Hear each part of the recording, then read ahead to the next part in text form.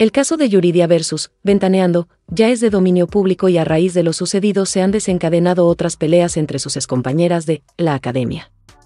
Tras la polémica con Yuridia, Miriam Montemayor evidenció cómo Ventaneando ha hablado mal de ella en diversas ocasiones. Sin embargo, Toñita le pide a Miriam Montemayor que no sea incongruente, recordándole todas las burlas que hizo en contra de ella y Yuridia.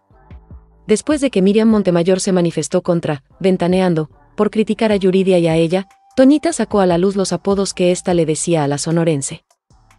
De acuerdo con Antonia Salazar, quien ha tenido varios desencuentros con Montemayor, su excompañera le decía calabaza y gorda a la intérprete de Alma enamorada. Por si fuera poco, también señaló a los fans de la ganadora de la Academia de ser cómplices de esta burla hacia ella. Las declaraciones de Toñita llegaron a oídos de Montemayor y con un mensaje contundente respondió a lo dicho por Toñita en el programa, Chismorreo, asegurando que esto ya es acoso mediático. Tan valioso que es el tiempo en televisión y le dan tanto tiempo a esta mujer para que hable mal de otra mujer, esto por parte de ella ya es acoso mediático, para con mentiras estar dañando mi imagen ante la opinión pública, y dañando mi trabajo, más objetividad e imparcialidad, fue lo que la sonorense respondió a la publicación del mismo programa donde fue invitada Toñita.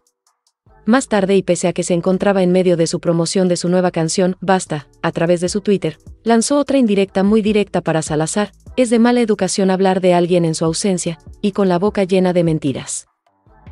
Y otro tuit que retuiteó señalaba que se conoce a una persona por lo que habla, cada que uno se detiene a hablar mal de una persona no se pone a pensar ni tantito que en realidad está hablando mal de uno mismo, porque está reflejando lo mal que está por dentro, lo mal que se siente y la catarsis que está haciendo al hablar de los demás.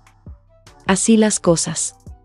Hasta ahora, Toñita no se ha pronunciado al respecto, pero se espera que dé réplica a lo dicho por su ex amiga, como la nombró en el programa de Chismorreo.